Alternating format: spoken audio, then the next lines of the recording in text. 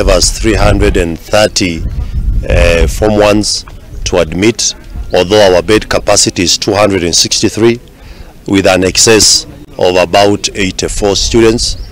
And uh, today so far we have received 174 students and uh, majority of them as they come in, uh, we have quite a number who are having challenges in uh, payment of school fees.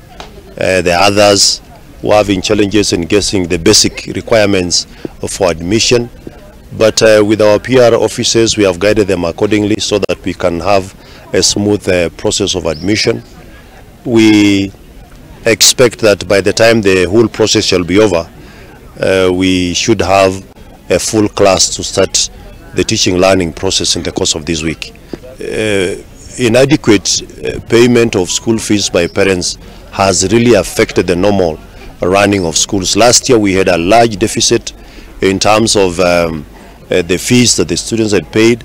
We closed the year with a, a balance of fees of around 4 million and um, a large number of our suppliers were not paid in the course of last year.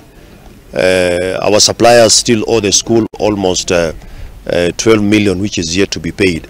So there is a high backlog of debts that schools, are, schools have accumulated because of uh, the failure of payment of school fees uh, by most of the parents.